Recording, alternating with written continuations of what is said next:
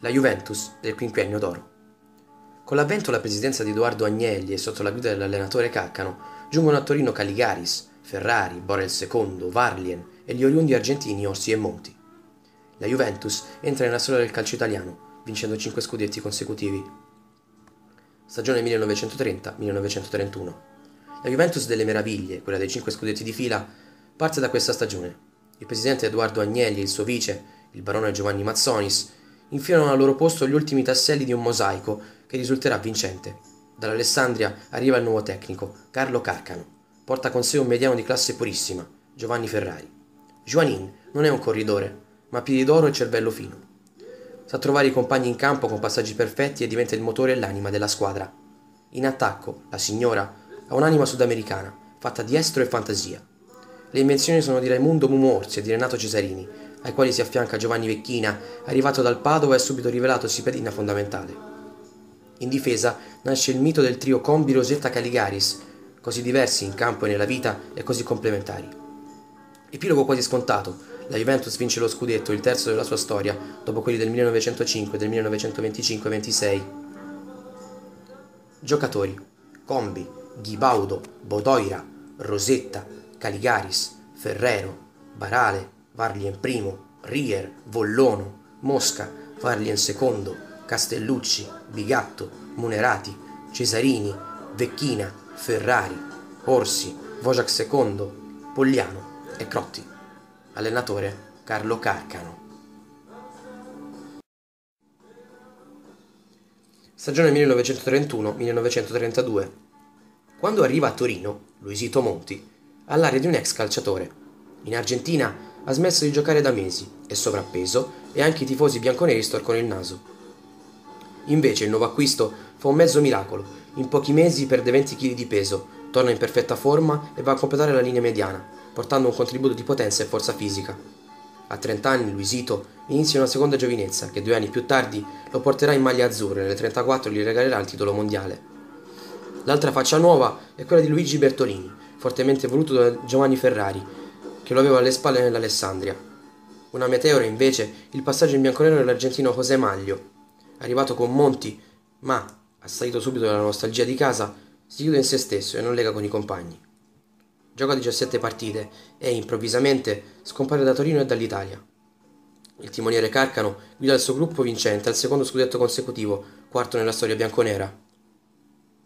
Giocatori Combi, Rosetta, Ferrero, Caligaris, Varlien I, Monti, Bertolini, Varlien II, Munerati, Cesarini, Vecchina, Ferrari, Orsi, Maglio e Rosa.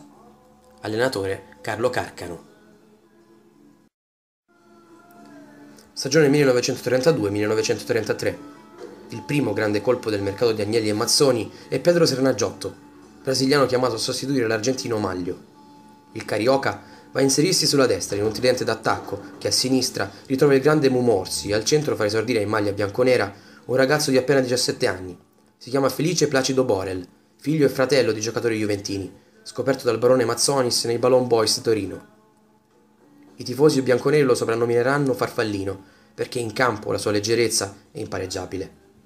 Ma c'è anche tanta sostanza, che si traduce in 29 reti in 28 partite, media altissima, che contribuisce alla conquista del terzo scudetto di fila dell'era Carcano.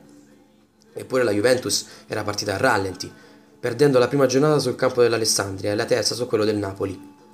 Poco alla volta i bianconeri recuperano il terreno perduto nei confronti di Torino, Napoli e Bologna. La festa tricolore continua.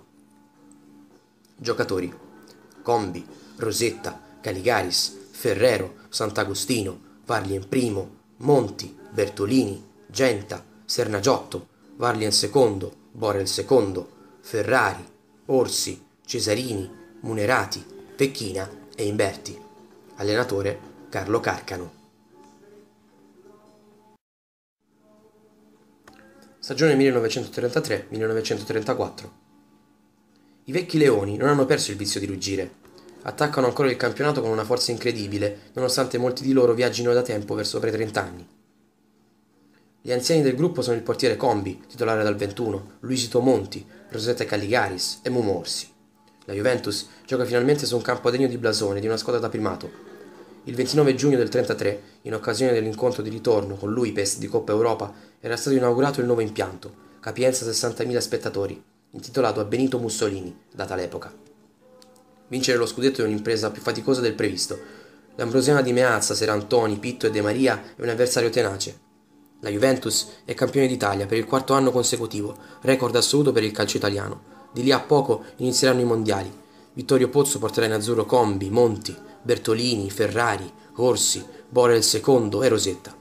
A tutti toccherà l'onore e la gioia di tenere tra le mani la Coppa Rimè e di entrare nella storia del calcio italiano e mondiale. Giocatori Combi, Valinasso, Rosetta, Caligaris, Ferrero, Varlien I, Monti, Bertolini, De Pertini, Sernagiotto, Cesarini, Borel II, Ferrari, Orsi, Varlien II e Mihalic. Allenatore Carlo Carcano. Stagione 1934-1935. L'età dei campioni comincia a farsi sentire. Mille battaglie logorano i guerrieri e la Juventus arriva naturalmente alla fine di un ciclo irripetibile. La macchina potente perde i pezzi giorno dopo giorno. Dopo il titolo mondiale ha chiuso col calcio Giampiero Combi, il numero uno e il capitano azzurro. A marzo anche Raimundo Orsi torna in Argentina.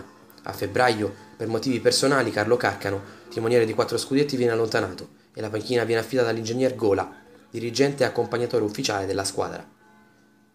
È una Juve più stanca, ma sa vincere ancora. Per quasi tutta la stagione insegue la Fiorentina partita fortissimo e nel finale approfitta del crollo dei Viola per aggiudicarsi il quinto scudetto di fila, che è anche il settimo nella storia bianconera.